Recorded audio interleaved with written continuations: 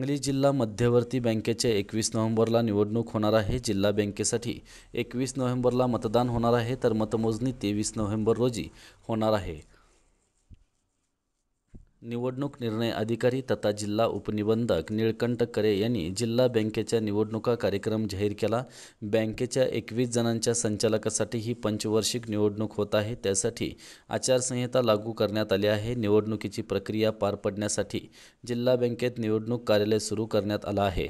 दरम्यान ऐन दिवाळीत निवडणुकीचा प्रचार शिगोला पोचणार आहे. राष्ट्रवादीचे प्रदेशाध्यक्ष व पालकमंत्री जयंत पाटील आणि काँग्रेसचे सहकार राज्यमंत्री डॉक्टर विश्वजित कदम यांच्यासाठी जिल्हा बँकेची निवडणूक प्रतिष्ठेची ठरणार आहे. नवा महाराष्ट्रासाठी ओंकार पिसाळ